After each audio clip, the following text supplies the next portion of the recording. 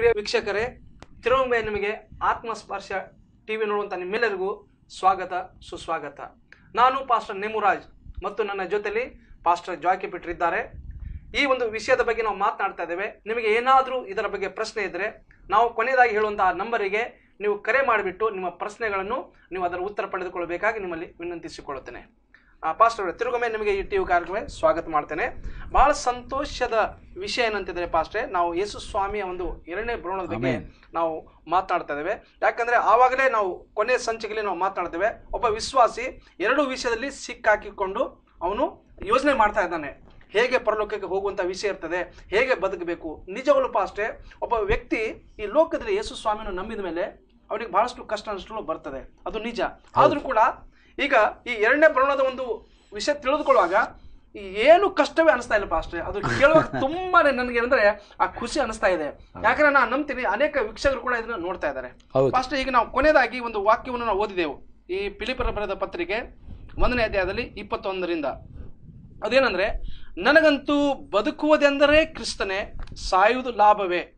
ಶರೀರದಲ್ಲಿಯೇ ಬದುಕಬೇಕಾದಲ್ಲಿ ಕೆಲಸ ಮಾಡಿ ಫಲ ಹೊಂದಲು ನನಗೆ ಅನುಕೂಲವಾಗುವುದು. ಹೀಗಿರಲಾಗಿ ನಾನು ಯಾವುದನ್ನು ಆಧರಿಸಿಕೊಳ್ಳಬೇಕೋ ನನಗೆ ತೋರದು. ಈ ಎರಡರ ನಡುವೆ ಸಿಕ್ಕಿಕೊಂಡಿದ್ದೇನಷ್ಟೇ? ಎಸ್ ಅಂದ್ರೆ ಪಾಸ್ಟ್ ಇಲ್ಲಿ ಈ ಎರಡರ ನಡುವೆ ಅಂತ ಹೇಳಿದ್ರೆ ಈ ಏನಾದರೂ ಬೇರೆ ಏನಾದರೂ ವಿಷಯ ಸಂಬಂಧಪಡೋದು ಪಾಸ್ಟ್ ಎರಡರ ನಡುವೆ ಅಂತ ಹೇಳಿದ್ರೆ? ಎರಡರ ನಡುವೆ ಅಂದ್ರೆ ಈ ಐಹಿಕ ಜೀವನ ಮತ್ತು ಆತ್ಮಿಕ ಜೀವನ.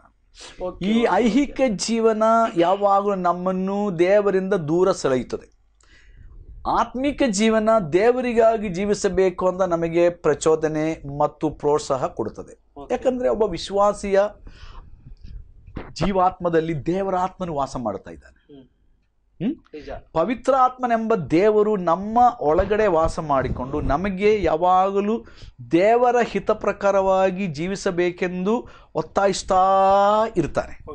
ಅದೇ ಸಮಯದಲ್ಲಿ ಈ ಲೋಕದ ಆಶಾಪಾಶಗಳು ಈ ಶರೀರದ ಇಚ್ಛೆಯು ಈ ಲೋಕದ ಪ್ರಕಾರ ನಾವು ಜೀವಿಸಬೇಕೆಂಬುದಾಗಿ ನಮಗೆ ಪ್ರೋತ್ಸಾಹ ಪಡಿಸ್ತಾ ಇರುತ್ತೆ. ಇದರ ಮಧ್ಯದಲ್ಲಿ ನಮಗೆ ಹೋರಾಟ. ಓಕೆ. ಆಯ್ತಾ? ಪವಲನ್ ಪೌಲನ್ ಅದನ್ನೇ ಹೇಳ್ತಾ ಇದ್ದಾನೆ ಇಲ್ಲಿ. ಇದರ ನಡುವಿನಲ್ಲಿಗೆ ಹೋರಾಟ. ಆದರೆ ನಾನು ಕ್ರಿಸ್ತನನ್ನು ಅನುಸರಿಸಿ ಕ್ರಿಸ್ತನ ಜೊತೆಯಲ್ಲಿ ಇರುವುದಕ್ಕೆ ನಾನು ಅತಿ ಆಸೆ ಪಡುತ್ತೇನೆ. ಈ ಲೋಕ ಜೀವನವನ್ನು ಬಿಟ್ಟು ಈ ಶರೀರದ ಜೀವನವನ್ನು ಬಿಟ್ಟು ಕ್ರಿಸ್ತನ ಜೊತೆಯಲ್ಲಿ ಇರುವುದಕ್ಕೆ ನನಗೆ ಬಹು ಆಸೆ. ಅದಕ್ಕೆ ಪೌಲ್ ಹೇಳ್ತಾನೆ ನನಗಂತೂ ಬದುಕುವುದಂದರೆ ಜೀವಿಸುವುದಂದರೆ ಯೇಸು ಸ್ವಾಮಿಯೇ. ಸತ್ತರೂ ನನಗೇನು ಚಿಂತೆ ಇಲ್ಲ.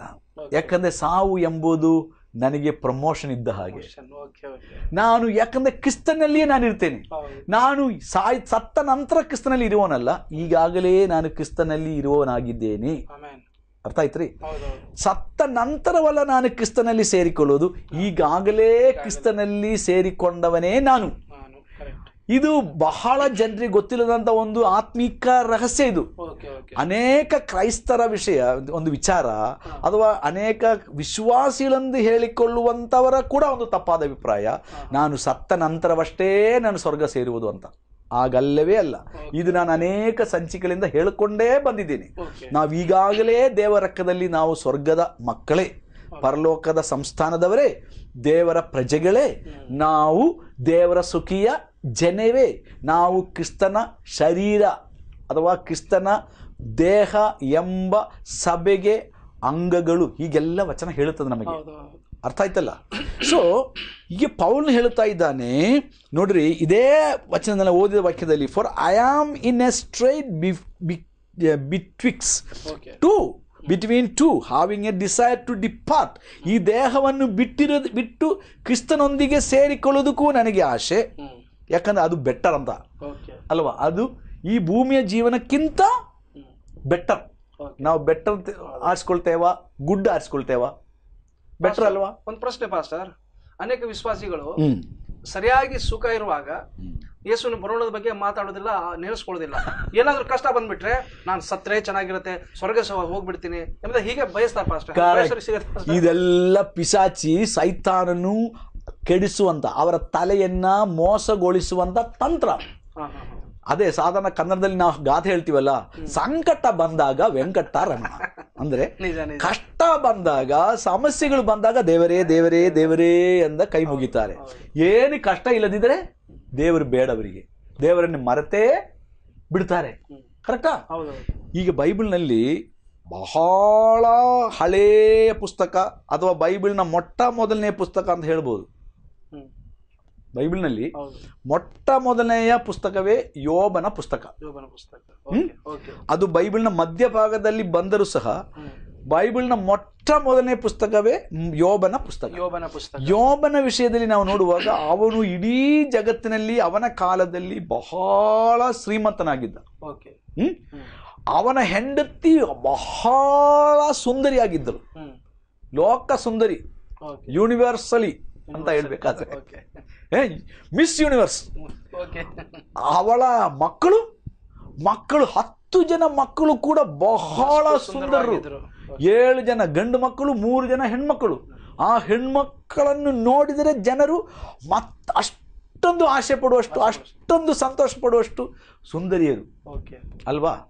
ಇವನು ಬಹಳ ಶ್ರೀಮಂತ ಇವನಿಗೆ ಆಡು ಕುರಿಗಳು ಸೇವಕರು ಎಲ್ಲ ಸುಂದರಿಯಾದ ಹೆಂಡತಿ ಸುಂದರಾದ ಗಂಡು ಮಕ್ಕಳು ಸುಂದರಿಯರಾದ ಹೆಣ್ಮಕ್ಕಳು ಆದರೆ ಪಿಸಾಚಿ ಸೈತಾನನು ಬಂದು ಇವನ್ನ ಇವೆಲ್ಲ ಹಾಳು ಮಾಡಿಬಿಟ್ಟ. ಕರೆಕ್ಟಾ ಎಲ್ಲ ಹಾಳು ಮಾಡಿಬಿಟ್ಟ. ಯಾಕಂದ್ರೆ ದೇವರಿಗೆ ಸವಾಲು ಮಾಡಿದೆ ಇವನು ಸೈತಾನ್ ಹೋಗಿ.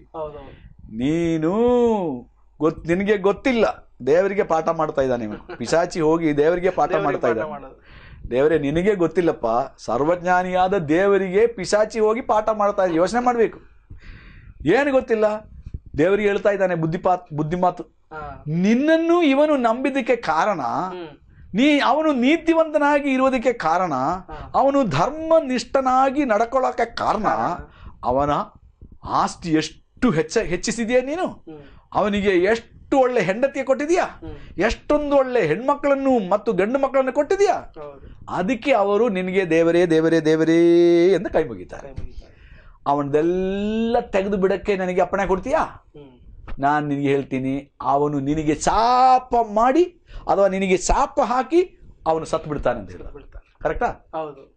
ಆದರೆ ನಮಗೆ ಓದಕ್ಕೆ ಸಮಯ ಇಲ್ಲ. ಯೋಗನ ಪುಸ್ತಕದಲ್ಲಿ ಇದೆ. ಆದರೆ ದೇವರು ಹೇಳಿದ ಆಯ್ತಪ್ಪ ನೀನು ಏನು ಬೇಕಾದ್ರೂ ಮಾಡ್ಕೋ. ಅವನ ಪ್ರಾಣ ಮಾತ್ರ ತೆಗಿಬೇಡ. ತೆಗಿ. ಕರೆಕ್ಟ್ ಅಲ್ಲ? ಅದೇ ಪ್ರಾಣ ಎಂಬುದಾಗಿ ಹೇಳುವಾಗ ಫಸ್ಟ್ ಅದು ಅಂದ್ರೆ ಜೀವಾತ್ಮ. ಜೀವಾತ್ಮ. ಜೀವಾತ್ಮಕ್ಕೆ ಕೈ ಮುಟ್ಬೇಡ ನೀನು. ಓಕೆ ನೀನು ಏನ್ ಬೇಕಾದ್ರೂ ಮಾಡು. ಒಂದೇ ದಿವಸ ಅವನ ಆಸ್ತಿ ಎಲ್ಲ ಕಳ್ಕೊಂಡ. ಆ ಭೂಮಿಯಲ್ಲಿ ಅತಿ ದೊಡ್ಡ ಶ್ರೀಮಂತ ಒಂದೇ ದಿವಸದಲ್ಲಿ ಪಾಪರಾದ. ಹೆಂಗಿರುತ್ತೆ ಅವನಿಗೆ ಹೇಳಿ.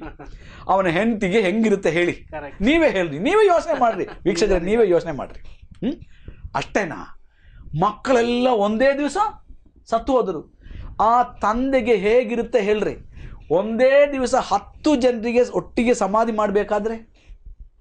ಕರೆಕ್ಟ್ ಹತ್ತು ಮಕ್ಕಳನ್ನು ಒಂದೇ ದಿವಸ ಸಮಾಧಿ ಮಾಡಬೇಕಾದ್ರೆ ಮಣ್ಣು ಮಾಡಬೇಕಾದ್ರೆ ಆ ತಂದೆಯ ಮನಸ್ಸು ಹೆಂಗಿರುತ್ತೆ?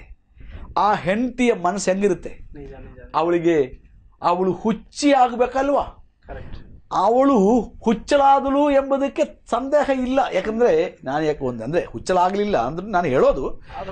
ಒಂದು ಮಟ್ಟಕ್ಕೆ ಮುಟ್ಟಿದ್ರು ಅಂದಕ್ಕೆ ಯಾಕಂದ್ರೆ ಅವಳ ಮಾತಿನಿಂದ ಅವಳು ಹುಚ್ಚಿ ಅಂತ ಯಾರು ಹೇಳ್ತಾನೆ? ಯೋಬನೇ ಹೇಳ್ತಾನೆ ಏ ಹುಚ್ಚಿ. ಏ ಅಂದ್ರೆ ಹುಚ್ಚಿ ನೀನು ಫೂಲಿಶ್ ಅಂತ ಹೇಳ್ತಾನೆ ನೀನು ಮೂರ್ಖಳು. ನಿನಗೆ ಗೊತ್ತಿಲ್ಲ ಅಂತ ಹೇಳ್ತಾನೆ. ಇಲ್ವಾ? ಆಮೇಲೆ ಅಷ್ಟೇನಾ? ಆಮೇಲೆ ಸೈತಾನು ಅವನ ಮೈ ಮುಟ್ಟಿದ. ಅಂದ್ರೆ ಅವನ ದೇಹವನ್ನೆಲ್ಲ ಹುಣ್ಣು ಕಾಯಿಲೆಯಿಂದ ತುಂಬಿಸಿದ. ಕರೆಕ್ಟ್ ಅಲ್ಲ? ಹುಣ್ಣು ಕಾಯಿಲೆ. ಅವನಿಗೆ ಬಟ್ಟೆ ಹಾಕೊಳಕ್ ಆಗ್ತಿರ್ಲಿಲ್ಲ. ಹೌದು. ನಾವಾದ್ರೂ ಒಳ್ಳೆ ಬಟ್ಟೆ ಹಾಕೊಂಡ್ರೆ ಚೆನ್ನಾಗಿದೆ. ಆದರೆ ಯೋಬನಿಗೆ ಬಟ್ಟೆ ಹಾಕೊಳ್ಳೋಕ್ಕೂ ಆಗ್ತಿರ್ಲಿಲ್ಲ. ಅವನು ಬೂದಿಯಲ್ಲಿ ಕೂತ್ಕೊಂಡು ಕರಿತಾ ಇದ್ದ. ರಾತ್ರಿ ಹಗಲು ಕರಿ ಅವನಿಗೆ ನಿದ್ರೆ ಯೋಚನೆ ಮಾಡ್ರಿ. ನಿದ್ರೆ ಇಲ್ಲದೆ ಸರಿಯಾಗಿ ಊಟ ಮಾಡೋಕ್ಕಾಗದೆ ಅತಿ ಲೋಕದ ಅತಿ ದೊಡ್ಡ ಐಶ್ವರ್ಯವಂತ ಈಗ ಬಿಲ್ ಗೈಟ್ಸ್ ನಾಳೆ ಹಾಗಾದ್ರೆ ಹೆಂಗಿರುತ್ತೆ? ಕರೆಕ್ಟ್ ಏ? ನಮ್ಮ ಮುಖೇಶ್ ಅಂಬಾನಿ ನಾಳೆ ಹಂಗಾದ್ರೆ ಹೆಂಗಿರುತ್ತೆ? ಎಣಿಸ್ಲಿಕ್ಕೆ ಆಗ್ತದ? ಈಗ ಯೋಬನು ಜಗತ್ತಿನಲ್ಲಿ ಅತಿ ದೊಡ್ಡ ಶ್ರೀಮಂತ. ಶ್ರೀಮಂತ. ಮುಖೇಶ್ ಅಂಬಾನಿ ಕೂಡ ಹದಿನೆಂಟನೇ ಶ್ರೀಮಂತ ಅಷ್ಟೇ ಲೋಕದಲ್ಲಿ. ಆದ್ರೆ ಇಡೀ ಜಗತ್ತಿನಲ್ಲಿ ಅತಿ ದೊಡ್ಡ ಶ್ರೀಮಂತನಾಗಿದ್ದ ಯೋಬನು ಅವನ ದೇಹವು ಕೂಡ ಹುಣ್ಣು ಕಾಯಿಲೆಯಿಂದ ತುಂಬಿದಾಗ ಅವನ ಹೆಂಡತಿ ಮಿಸಸ್ ಏನು ಹೇಳಿದಳು ಕರೆಕ್ಟ್ ನೀನು ದೇವರಿಗೆ ಶಾಪ ಮಾಡು. ಶಪಿಸಿ ನೀನು ಸತ್ತು ಹೋಗು. ನಾನಾದ್ರೂ ಇನ್ನೊಬ್ಬ ಗಂಡಸನ್ನ ಮದುವೆ ಮಾಡಿಕೊಂಡು ಆರಾಮಾಗಿ ಇದ್ದು ಬಿಡ್ತೇನೆ ಅಂತ ಅರ್ಥ.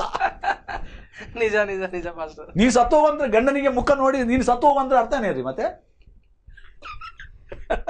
ಅಲ್ಲ ಬೇರೆ ಹೆಂಗ್ ಸರ್ ಏನಾದ್ರು ನಿಮಗೆ ಏನಾದ್ರು ಹೇಳಿಕ್ಕಿದ್ದಾರೆ ಅಂತ ಅಲ್ಲ ನಂದು ಆ ಒಂದು ಮಾತಿನ ಅರ್ಥ. ಮಾತಿನ ಅರ್ಥ correct. ಆದ್ರೆ ಆವಾಗ ಯೋಬ ಹೇಳ್ತಾನೆ ಏ ನೀನು ಹುಚ್ಚಿಯಂತೆ ಮಾತಾಡ್ತೀಯಲ್ಲ? ನೀನು ಮೂರ್ಖಲಾಗಿದೀಯಾ ದೇವರಿಗೆ ಗೊತ್ತಿಲ್ಲ ಏನಾದ್ರೂ ನಮಗೆ ಸಂಭವಿಸುತ್ತದ? ಹೌದು. ನಾವು ಪಡೆದದಲ್ಲ ದೇವರಿಂದ ಅಲ್ವಾ ಒಂದು ವೇಳೆ ದೇವರು ಅದು ಅನುಮೋದಿಸಿ ಅಥವಾ ದೇವರೇ ಅದು ತಗೊಂಡಂದು ಇಟ್ಕೊಳ್ಳಿ. ದೇವರಿಗೆ ನಾವು ಸ್ತೋತ್ರ ಮಾಡಬೇಕೇ ವಿನಃ ನಾವು ದೇವರನ್ನು ದೂಷಿಸಬಾರದು ಅಂತ ಹೇಳ್ತಾರೆ. ಇದೇ ನಿಜವಾದ ಭಕ್ತಿ. ಇವತ್ತು ಅನೇಕ ಜನರು ಭಕ್ತಿ ಆಚರಿಸ್ತಾರೆ. ಯಾಕೆ ಗೊತ್ತಾ? ದೇವರಿಂದ ಏನು ಸಿಗ್ತದೆ? ದೇವರಿಂದ ಏನು ಸಿಗ್ತದೆ? ದೇವರಿಂದ ಏನು ಸಿಗ್ತದೆ? ಅದಕ್ಕೆ ಕಾಯಿ ಕರ್ಪೂರ ಕಾಸು ಕುರಿ ಕೋಣ ಕೋಳಿ. ಅಥವಾ ದಶಮಾಂಶ ಅಥವಾ ಕಾಣಿಕೆ ಎಲ್ಲ ಕೊಡ್ತಾ ಇದ್ದಾರೆ. ಏನಕ್ಕೆ ಕೊಡೋದು ದೇವರಿಂದ ಏನು ಸಿಗ್ತದೆ ನನಗೆ? ಇವತ್ತು ಹಾಗೆ ಬಹಳ ಜನ ಅದೇ ಟಿವಿಯಲ್ಲಿ ಕೂಡ ಹೇಳ್ತಾರೆ ಸಾವಿರ ರೂಪಾಯಿ ನಮಗೆ ಹಳಿಸ್ಕೊಡ್ರಿ ನಿಮಗೆ ದೇವರು ಹತ್ತು ಸಾವಿರ ರೂಪಾಯಿ ಕೊಡ್ತಾರೆ. ನಿಜ ನಿಜ ನಮ್ಮ ಅಡ್ರೆಸ್ಸಿಗೆ ಒಂದು ಲಕ್ಷ ಕಳ್ಸಿಕೊಡ್ರಿ ನಮಗೆ ದೊಡ್ಡ ಬಿಲ್ಡಿಂಗ್ ಪ್ರಾಜೆಕ್ಟ್ ಇದೆ ನಮಗೆ ಒಂದು ಲಕ್ಷ ರೂಪಾಯಿ ಕಳ್ಸಿಕೊಡ್ರಿ ದೇವರು ನಿಮಗೆ ಮನೆ ಕಟ್ಟಿ ಕೊಡ್ತಾರೆ. ಎಲ್ಲ ಇವೆಲ್ಲ ತುಂಬಾ ಮೋಸಕ್ತನ. ನಾನು ಹೇಳೋದು ಬಹಳ ಮುಖ್ಯವಾದ ವಿಷಯ. ಸರ್ ನಿಮ್ಮ ಮಾತಿನ ಮೇಲೆ ನನಗೆ ಒಂದು ಅನಿಸಿಕೆ ಬರ್ತಾ ಇದೆ. ಈಗ ನೋಡಿ ಇವತ್ತು ಅವ್ರಿಗೆಲ್ಲವನ್ನು ಯೋಬನು ತನ್ನ ಎಲ್ಲವನ್ನು ಕಳೆದುಕೊಂಡು ಅವನು ದೇವರನ್ನ ಗಟ್ಟಿಯಾಗಿ ಇಟ್ಕೊಂಡ ಈಗ ದೇವರು ಎಲ್ಲ ಆರೋಗ್ಯ ಕೊಟ್ಟಿದ್ದಾರೆ ಒಳ್ಳೆ ಕೋಟ್ ಕೊಟ್ಟಿದ್ದಾರೆ ಒಳ್ಳೆ ಕಾರ್ ಕೊಟ್ಟಿದ್ದಾರೆ ಆದ್ರೂ ಸ್ವರ್ಗಕ್ಕೆ ಹೋಗೋದಕ್ಕೆ ಆಗ್ತಾ ಇಲ್ಲ ಫಾಸ್ಟ್ ಏನ್ ವಿಷಯ ಅವರ ಮನಸ್ಸೆಲ್ಲ ಅದರ ಮೇಲೆ ಕೋಟಿನ ಮೇಲೆ ಕಾರ್ನ ಮೇಲೆ ಆಸ್ತಿ ಮೇಲೆ ಮತ್ತೆ ಇದ್ದದ್ದು ಸಹ ಇದ್ದದ್ರಲ್ಲಿ ತೃಪ್ತಿ ಇಲ್ಲ. ಇನ್ನೂ ಬೇಕು ಇನ್ನೂ ಬೇಕು ಇನ್ನೂ ಬೇಕು. ಅವರ ರಾಜ್ಯವನ್ನೇ ಅವರು ಕಟ್ಟುತ್ತಾ ಇದ್ದಾರೆ ದೇವರ ರಾಜ್ಯ ಎಲ್ಲ ಕಟ್ಟುತ್ತಾ ಇರೋದು. Okay okay okay okay. ಅರ್ಥ ಆಗ್ತಾ ಇದೆಯಾ? ಅವರು ತಮ್ಮ ರಾಜ್ಯ ಕಟ್ಟುತ್ತಾ ಇದ್ದಾರೆ. ದೇವರ ರಾಜ್ಯ ಕಟ್ಟುವವನು ಭಿಕ್ಷೆ ಬೇಡಲ್ಲ. ಕಳಿಸ್ಕೊಡ್ರಿ ಕಳಿಸ್ಕೊಡ್ರಿ ಕಳಿಸ್ಕೊಡ್ರಿ. ಈಗ ನಾನು ಈ ಕಾರ್ಯಕ್ರಮ ನಮ್ಮ ರಿಚಾರ್ಡ್ ಪಾ ಬ್ರದರ್ಗೆ ಗೊತ್ತು. ರೆಕಾರ್ಡಿಂಗ್ ಮಾಡುವ ರಿಚಾರ್ಡ್ ಬ್ರದರ್ಗೆ ಗೊತ್ತು. ಕೆಲವೊಮ್ಮೆ ಅವರು ಕೂಡ ನನಗೆ ಹೇಳಿದ್ದಾರೆ. ನಾವು ಸ್ವಲ್ಪ ಜನರೆಲ್ಲ ನಮಗೆ ಸ್ವಲ್ಪ ಕಾಣಿ ಕೊಟ್ಟರೆ ಎಷ್ಟೋ ಒಳ್ಳೇದಿತ್ತು. ಪಾಪ ಅವರಿಗೆ ಗೊತ್ತು ನಾನು ಎಷ್ಟು ಕಷ್ಟಪಟ್ಟು ಒಂದೊಂದು ತಿಂಗಳ ನಾನು ಹಣ ಕಳಿಸ್ತಾ ಇದ್ದೆ ಅಂತ. ಅವ್ರಿಗೆ ಕೊಡ್ತಾ ಇದ್ದೇನೆ. ನಾವು ಒಂದು ಏಳೆಂಟು ವರ್ಷಗಳಿಂದ ಇನ್ನೂ ಹೆಚ್ಚು ವರ್ಷಗಳಿಂದ ಈ ಒಂದು ಕಾರ್ಯಕ್ರಮ ನಾನು ಕೊಡ್ತಾ ಇದ್ದೇನೆ. ನನಗೆ ಕಣ ಬೇಕು ಅಂತ ಹೇಳಿ ನಾನು ಹೇಳ್ತಲ್ಲ ಅದು ತಪ್ಪು ತಿಳ್ಕೊಬೇಡಿ ಅದು. ನಾನು ಹೇಳೋದು. ದೇವರು ಕೊಡುವ ತನಕ ಮಾಡ್ತೀವಿ. ಕರೆಕ್ಟ್ ಆದ್ರೆ ಯಾರ ಕೈಯಲ್ಲಿಯೂ ಭಿಕ್ಷೆ ಬೇಡಲ್ಲ? ನಿಮಗೆ ಗೊತ್ತಿದೆ ನನ್ನ ಬಗ್ಗೆ. ಇಷ್ಟು ವರ್ಷಗಳಾದ್ರೂ ಕೂಡ ಮೊನ್ನೆ ಮೊನ್ನೆ ಅಷ್ಟೇ ಒಂದು ಸಣ್ಣ ಮನೆ ಕಟ್ಸಿದ್ದು. ಅದು ಮಕ್ಕಳು ಮನೆಯಲ್ಲಿ ಮಕ್ಕಳು ಆ ಬ್ಯಾಂಕ್ನಿಂದೆಲ್ಲ ಸಾಲ ಗೀಲೆಲ್ಲ ಮಾಡಿಕೊಂಡು ಸುಮಾರು ನಲವತ್ತು ವರ್ಷಕ್ಕಿಂತ ಹೆಚ್ಚಾಗಿ ನಾನು ಸೇವೆ ಮಾಡ್ತಾ ಇದ್ದೇನೆ ದೇವರ ಸೇವೆ. ದೇವರ ಸೇವೆ ಎಂದು ನಮ್ಮ ರಾಜ್ಯ ಕಟ್ಟಕ್ಕಲ್ಲ. ನಮ್ಮ ಸಂಪಾದನೆ ಸಂಪಾದನೆ ಹೆಚ್ಚಿಸಕ್ಕಲ್ಲ. ಹೇಳ್ತಿರಲ್ಲ? ಅಷ್ಟು ನೋಡಿ ಇಷ್ಟೆಲ್ಲ ಕಷ್ಟ ಇದ್ರು ಅನೇಕರು ನೋಡಿ ಇವತ್ತು ಕಾರಲ್ಲಿ ತಿರುಗ್ತಾರೆ ದೊಡ್ಡ ದೊಡ್ಡ ಬೋರ್ಡ್ ಉಂಟು ದೊಡ್ಡ ದೊಡ್ಡ ಚರ್ಚ್ ಉಂಟು. ಆದ್ರೂ ಕೂಡ ಏನಂದ್ರೆ ನಿಮಗೆ ಒಂದು ಸ್ವಲ್ಪ ಕೂಡ ಹೊಟ್ಟೆಗಿಚ್ಚಿಲ್ಲದೆ ನೀವು ಖುಷಿಯಾಗಿರ್ತೀರ. ಯಾಕಂದ್ರೆ ಇದಕ್ಕಿಂತ ಒಂದು ಒಳ್ಳೆ ಉತ್ತಮ ಮನೆ ಏನೋ ಕಟ್ಕೊಂಡಿದ್ದೀರಂತ ನೋಡ್ರಿ ಪರಲೋಕದ ಮನೆಯನ್ನೇ ತಾನೇ ನಮ್ಮ ಮನೆ. ಇದೆಲ್ಲ ಸುಮ್ಮನೆ ಅಲ್ವಾ? ಫಾಸ್ಟ್ ಒಂದು ಒಂದು ಒಂದು ನಿಮಿಷ ಪಾಸ್ಟರ್ ಅಲ್ಲಿದೆ ನಮ್ಮ ಮನೆ. ನಾವು ಇಲ್ಲಿ ಸುಮ್ಮನೆ.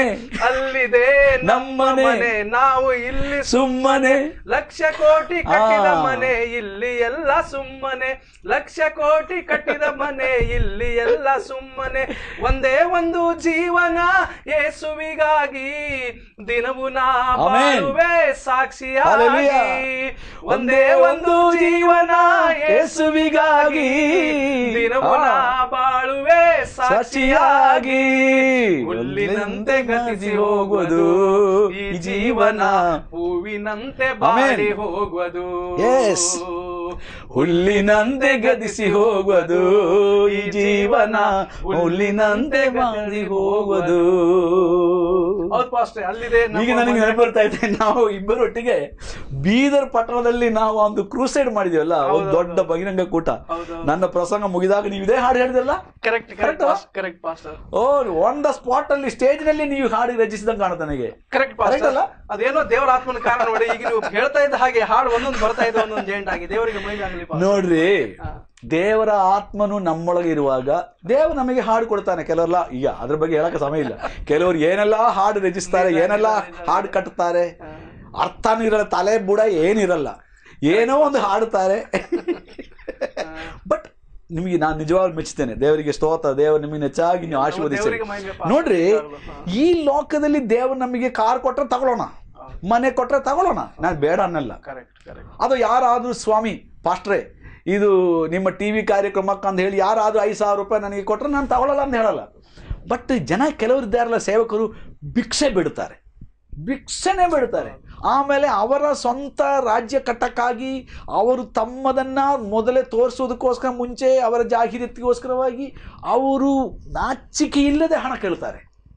ಇಷ್ಟು ಹಣ ಕೊಡ್ರಿ ದೇವರ ಹೆಸರಲ್ಲಿ ಕೊಡ್ರಿ ನಿಮಗೆ ದೇವರು ಅದು ಮಾಡ್ತಾನೆ ದೇವರು ನಿಮಗೆ ಇದು ಮಾಡ್ತಾನೆ ಹಾಗೆ. ಅದು ಸರಿಯಲ್ಲ. ನೋಡಿ ಪಾಸ್ ಯೋಬನ ಬಗ್ಗೆ ಮಾತಾಡಿದ್ದಾರೆ. ನ್ಯಾಯವಾಗಿ ಅವನು ಪಡ್ಕೊಂಡಿದ್ರು ಕೂಡ ಅವನ್ನೆಲ್ಲ ಕಳೆದುಕೊಂಡು ಅವನು ಸಿದ್ಧನಾಗಿದ್ದ ಕಳೆದುಕೊಂಡು ಪರಲೋಕ ಹೋಗ್ಲಿಕ್ಕೆ ಅವನು ಸಿದ್ಧನಾಗಿದ್ದ ಇವತ್ತು ಅಂತ. ಯಾರಾದ್ರೂ ಅಂತ ಯಾರಾದ್ರೂ ಯಾರಿಗಾದ್ರೂ ಇಂಥ ಅನುಭವ ಈಗ ನನಗಾದ್ರೂ ನಿಮಗಾದ್ರೂ ಬಂದರೆ ನಾವು ದೇವರನ್ನು ಹಿಂಬಾಲಿಸ್ತೇವಾ. ಯೋಬನ್ ಹೇಳ್ದಂಗೆ ಹೇಳ್ತಾನ?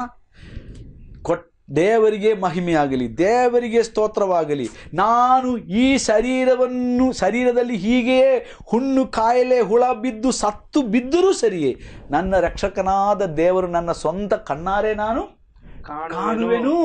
ನಾನಂದು ನೀನು ಹುಚ್ಚಿತರ ಮಾತಾಡ್ತೀಯ ನಾನು ಆ ಥರ ಮಾತಾಡಲ್ಲ ಅಂತ ಹೇಳ್ದ. ನಾನು ಸುಮಾರು ಒಂದು ಮೂವತ್ತೈದು ವರ್ಷ ಹಿಂದೆ ಒಂದು ಹಾಡು ಕಟ್ಟಿದ ನೆನಪು ಬರ್ತಾ ಇದ್ದೇನೆ. ಈಗ ಈಗ ಮಾತಾಡುವ ಒಂದು ನೆನಪದೆ ಅದು ಹೀಗಿದೆ ಕಣ್ಣಾರೆ ಕಾಣುವೆನು ನಾನಾಗಿ ನೋಡುವೆನು ಯೋಬನ್ ಹೇಳಿದ ಅದೇ ಹಾಡು ಅದೇ ಮಾತು. ಅದೇ ನಾನು ಅದು ಹಾಡಾಗಿ ರಚಿ ಒಂದು. ಕಟ್ಟಿದ್ದೀನಿ. ಕಣ್ಣಾರೆ ಕಾಣುವೆನು ನಾನಾಗಿ ನೋಡುವೆನು. ಮತ್ತೊಬ್ಬನಾಗಿ ಅಲ್ಲ. ಕಥನನ್ನೇ ನೋಡುವೆನು. ಮತ್ತೊಬ್ಬನಾಗಿ ಅಲ್ಲ. ಕಥನನ್ನೇ ನೋಡುವೆನು. ಸ್ವಾಮಿಯನ್ನೇ ನೋಡುವೆನು. ನನ್ನ ಯೇಸುವನ್ನೇ ನೋಡುವೆನು. ಕಣ್ಣಾರೆ ಕಾಣುವೆನು. ನಾನಾಗಿ ನೋಡುವೆನು. ಮತ್ತೊಬ್ಬನಾಗಿ ಎಲ್ಲ. ಕತ್ತನನ್ನೇ ನೋಡುವೆನು. ಸ್ವಾಮಿಯನ್ನೇ ನೋಡುವೆನು ನನ್ನ ಯೇಸುವನ್ನೇ ನೋಡುವೆನು. ಬಹಳ ಸುಂದರವಾಗಿದೆ ಪಾಸ್ಟರ್ ನಿಜವಾಗಲು. ಯೋಬನ ಮಾತದು. ನಮ್ಮ ಸ್ವಂತ ಕಣ್ಣುಗಳಿಂದ ನಮ್ಮ ಯೇಸುವನ್ನು ನೋಡುವ ದಿನ ಬಹಳ ಹತ್ತಿರವಾಗಿದೆ. ಇದು ನಮ್ಮ ನಿರೀಕ್ಷೆ. ಓಕೆ ಅದಕ್ಕೆ ಪವನ್ ಹೇಳ್ತಾನೆ ಈ ದೇಹದಲ್ಲಿ ನಾನು ಬದುಕಿದ್ರು ಸರಿ ಈಗ ದೇಹ ಬಿಟ್ಟಿದ್ದರೂ ಸರಿಯೇ ನನ್ನ ಆಶೆ ಒಂದೇ. ಯೇಸುವನ್ನು ನೋಡಬೇಕು. ಯೇಸುವನ್ನು ನೋಡಬೇಕು. ಯೇಸುವನ್ನು ನನ್ನ ಸ್ವಂತ ಕಣ್ಣಾರ ನಾನು ನೋಡಬೇಕು. ನೋಡ್ರಿ ಯೋಬನಿಗೆ ಬೈಬಲ್ ಇರಲಿಲ್ಲ. ನಿಜ. ಈ ಅರವತ್ತಾರು ಪುಸ್ತಕ ಅವನಿಗೆ ಇರ್ಲಿಲ್ರಿ. ಪ್ರಸಂಗ ಮಾಡೋದಕ್ಕೆ ಯಾರು ಪಾಸ್ಟರ್ ಇರಲಿಲ್ಲ ಪಾಸ್ಟರ್ ಇರ್ಲಿಲ್ಲ. ವಿಶ್ವಾಸ ಇರಲಿಲ್ಲ ವಿಶ್ವಾಸ ಇರಲಿಲ್ಲ. ಅವನಿಗಿದ್ದ ಸ್ನೇಹಿತರು ಮೂರು. ಬಹಳ ದೊಡ್ಡ ಸ್ನೇಹಿತರ ಹೆಸರಿದೆ. ಅವರು ಬಂದು ಇವನಿಗೆ ಏನ್ ಮಾಡ್ತಾ ಇದ್ರು ಹೇಳಿ. ನೀನ್ ಬಹಳ ಒಳ್ಳೆಯವನು ಅಂತ ಹೇಳ್ತಾ ಇದ್ದ ಏ ನೀನ್ ದೇವರಿಗೆ ಇರೋದೋಗಿ ಪಾಪ ಮಾಡಿದ್ಯಾ ತಪ್ಪು ಮಾಡಿದ್ಯಾ? ಅದಕ್ಕೆ ನಿನಗೆ ಈ ಕಷ್ಟ ಕಾಲ ಕರೆಕ್ಟ್ ಅಲ್ಲ? ಪಾಸ್ಟರ್ ಇವತ್ತು ಕೂಡ ಆ ಪ್ರಶ್ನೆ ಇದೆಲ್ಲ ಪಾಸ್ಟರ್. ನಾವು ನ್ಯಾಯವಾಗಿ ಸೇವೆ ಮಾಡ್ತೇವೆ. ಅವನು ನ್ಯಾಯವಾಗಿ ಇಲ್ಲ ನ್ಯಾಯವಾಗಿಲ್ಲ ನೋಡಿ ಕಷ್ಟಪಡ್ತಾನೆ. ಅವನು ಒಳ್ಳೆ ಸೇವಕನಾಗಿದ್ದಾರೆ ಅವನಿಗೆ ಮನೆ ಇರ್ತಿತ್ತು ಕಾರ್ ಇರ್ತಿತ್ತು. ಇವತ್ತು ಬ್ಯಾಲೆನ್ಸ್ ಮಾಡ್ತಾರೆ. ಯಾವ್ದ್ರಲ್ಲಿ? ಹಣದಲ್ಲಿ ಪಾಸ್ಟರ್. ಬಹಳ ದುಃಖಕರವಾದ ಸಂಗತಿ. ಹಣ ನೋಡ್ಬಿಟ್ಟು ಅವನು ದೊಡ್ಡ ಸೇವಕ ಚಿಕ್ಕ ಸೇವಕ ಅಂತ ಹೇಳ್ತಾರೆ. ಅವರ ಮೂರು ಪೀಸ್ ಇರುವಂತ ಕೋಟ್ ನೋಡ್ಕೊಂಡು ಓ ಇವರು ದೊಡ್ಡ ಸೇವಕರು. ಕಂಪ್ಯೂಟರ್ ಇಟ್ಕೊಂಡು ಯಾವಾಗ್ಲೂ ಪ್ರಸಂಗ ಮಾಡ್ತಾ ಇದ್ದಾರೆ ಬೈಬಳೇ ಎತ್ಕೊಳ್ಳಲ್ಲ. ಕಂಪ್ಯೂಟರ್ನಲ್ಲಿ ಬೈಬಲ್ ಇದ್ದು ಇದೆ ಇಲ್ಲ ನಾನು ಹೇಳ್ತಾ ಇಲ್ಲ. ಆದ್ರೂ ಕೂಡ ಕೆಲವರ ವಿಚಾರ ಈ ಲ್ಯಾಪ್ಟಾಪ್ ಎಲ್ಲ ಇಟ್ಕೊಂಡು ಮಾತಾಡ್ತಿದ್ರು ಇವರು ದೊಡ್ಡ ಸೇವಕರು. ಇವರು ಈ- ಈ ಕಡೆಯಿಂದ ಆ ಕಡೆ ತನಕ ಓಡಿಕೊಂಡು ಪ್ರಸಂಗ ಮಾಡಿದ್ರೆ ಭಾರಿ ದೊಡ್ಡ ಸೇವಕರು. ಕಾಲಿನ ಮೇಲೆ ಕಾಲಿಟ್ಕೊಂಡು ಹಿಂಗೆ ಮಾತಾಡ್ತಾ ಇದ್ರೆ ಇವರು ಬಹಳ ದೊಡ್ಡ ಸೇವಕರು. ಇದೆಲ್ಲ ಜನರ ಕಣ್ಣಿಗೆ ಏನಾಕೋದು? ಕರೆಕ್ಟ್ ಕರೆಕ್ಟ್ ಕರೆಕ್ಟ್ ಇದು ಬಹಳ ಜನರಿಗೆ ಗೊತ್ತಿಲ್ರಿ. ಯೇಸು ಸ್ವಾಮಿ ಈ ಲೋಕದಲ್ಲಿ ಏನಿತ್ತು? ಕರೆಕ್ಟ್. ನಿಜ? ಹೌದು. ಯೇಸು ಸ್ವಾಮಿಗೆ ಲೋಕದಲ್ಲಿ ಏನಿತ್ತು? ನಾವು ಆತನ ಸೇವಕರಲ್ಲವೇ? ಹೌದು ಹೌದು ಹ? ನೋಡ್ರಿ ಯೋಚನೆ ಮಾಡಬೇಕು. ಸೊ ನಾನು ಯಾವಾಗಲೂ ದೇವರಿಗೆ ಸ್ತೋತ್ರ ಸಲ್ಲುತ್ತೇನೆ ನನಗೆ ಮನೆ ಇದೆಯಾ? ದೇವರಿಗೆ ಸ್ತೋತ್ರ. ಮನೆ ಇಲ್ಲವ? ದೇವರಿಗೆ ಸ್ತೋತ್ರ. ಬಟ್ಟೆ ಇದೆಯಾ? ದೇವರಿಗೆ ಸ್ತೋತ್ರ. ಬಟ್ಟೆ ಇಲ್ಲವಾ? ಸ್ತೋತ್ರ. ಊಟ ಇದೆಯಾ? ದೇವರಿಗೆ ಸ್ತೋತ್ರ. ಊಟ ಇಲ್ಲವಾ? ಅದಕ್ಕಾಗಿ ಸ್ತೋತ್ರ. ಯಾಕಂದ್ರೆ ಪೌಲನ್ ಹೇಳ್ತಾನೆ ಕೊರಿಂಥ ತೆಸಲೋನಿಕೆಯವರಿಗೆ ಬರೆದ ಪತ್ರದಲ್ಲಿ ಯಾವಾಗಲೂ ದೇವರಿಗೆ ನಾನು ಬಡವನಾದರೇನು? ಶ್ರೀಮಂತನಾದ ಅದರ ಗುಟ್ಟು ನನಗೆ ತಿಳಿದೆ ಅದು ಹೇಳ್ತಾರೆ ಎಲ್ಲಾ ಸ್ಥಿತಿಯಲ್ಲಿಯೂ ಎಲ್ಲಾ ಎಲ್ಲ ಸ್ಥಿತಿಗತಿಗಳಲ್ಲಿಯೂ ಇರುವುದಕ್ಕೆ ನಾನು ಕಲಿತುಕೊಂಡಿದ್ದೇನೆ. ನೋಡ್ರಿ ಅದಕ್ಕೆ ಪೌಲನು ಕೂಡ ಹೇಳ್ತಾನೆ ನೀ ನಾವು ದೇವ ಕರ್ತನ ಪ್ರತ್ಯಕ್ಷತೆಯಲ್ಲಿ ಎತ್ತಲ್ಪಡಬೇಕಾದರೆ ನಾವು ಯಾವಾಗಲೂ ಸ್ವಾಮಿಯ ಪ್ರತ್ಯಕ್ಷತೆಗೋಸ್ಕರ ಸಿದ್ಧರಾಗ್ತಾ ಇರ್ಬೇಕು ಸಿದ್ಧರಾಗಿರ್ಬೇಕು. ಅದು ಭಾನುವಾರ ಒಂದು ಪ್ರತ್ಯೇಕ ದಿವಸದಲ್ಲಿ ಅಲ್ಲ ಅಥವಾ ಯಾರನ್ನಾದರೂ ಹೊರಗಿನಿಂದ ದೊಡ್ಡ ಪ್ರಸಂಗಿಯನ್ನ ಕರೆಸಿಕೊಂಡು. ದೊಡ್ಡ ಒಂದು ಆ ಉಜ್ಜೀವನ ಕೂಟ ನಡೆಸಿದಾಗ ಮಾತ್ರ. ಅಲ್ಲ ಇವೆಲ್ಲ ಅನೇಕ ವಿಶ್ವಾಸಿಗಳನ್ನು ಕೂಡ ಸೈತಾನ್ ಇವತ್ತು ಮೋಸಗೊಳಿಸಿದ್ದಾರೆ. ಆದ ಕಾರಣ ವಿಶ್ವಾಸಿಗಳು ಏನು? ಅಥವಾ ಸಭೆಯವರಿಗೆ ಇವತ್ತೇನು? ದೇವರ ಬರೋಣ ಅಂತ ಹೇಳಿದ್ರೆ ಅವರಿಗೂ ಕೂಡ ಅದೊಂದು ತಮಾಷೆ ಇದ್ದಂಗೆ. ನನ್ನ ಮಾವ ಇದಾರಲ್ಲ ನನ್ನ ಮಾವ? ಈಗ ಇಲ್ಲ. ತೀರ್ಕೊಂಡಿದ್ದಾರೆ. ಅವರು ಏನು ಹೇಳ್ತಿದ್ರು ಗೊತ್ತಾ? ನಾನು ನಾನು ಸೇವಕನಾಗಿದ್ದಾಗ ನನಗೆ ಹೇಳ್ತಾ ಇದ್ರು ಏನ್ರಿ? ನನಗೆ ಕೇಳುವರು ಎರಡು ಸಾವಿರ ವರ್ಷದಿಂದಲೂ ಸ್ವಾಮಿ ಬರ್ತಾನೆ ಬರ್ತೇನೆ ಬರ್ತೇನೆ ಅಂತ ಹೇಳಿದ ಮಾತು ನೀವು ಹೇಳ್ತಾ ಇದ್ದೀರಾ? ಅವ್ರು ಅವ್ನು ಬರ್ತಾನೆ ಬರ್ತಾನೆ ಬರ್ತಾನೆ ಬರ್ತಾನೆ ಅಂತ. ಇನ್ನೂ ಬಂದಿಲ್ಲಪ್ಪ. ಇದು ನಿಜ ಅಥವಾ ಸುಳ್ಳು ಯಾರಿಗೆ ಗೊತ್ತು? ಇವತ್ತು ಕೂಡ ಇದೇ ರೀತಿಯಲ್ಲಿ ಹೇಳುವಂಥ ಬಹಳ ಜನ ಇದ್ದಾರೆ. ನಾನು ಹೇಳ್ದೆ ನನ್ನ ಮಾವರಿಗೆ ನೋಡಿ ನೀವು ತಮಾಷೆ ಮಾಡಬೇಡ. ಯಾಕಂದ್ರೆ ಅಂತ್ಯಕಾಲದ ಈ ರೀತಿಯಾಗಿ ತಮಾಷೆ ಗೇಲಿ ಮಾಡುವವರು ಬರುತ್ತಾರೆ ಅಂತ ಬೈಬಲ್ನಲ್ಲಿ ಬರೆದದ್ದೇ. ಎರಡು ಪೇತ್ರ ಎರಡು ಎರಡು ಪೇತ್ರ ಪತ್ರ. ಮೂರನೇದೇ ನೋಡ್ರಿ ವಚನ.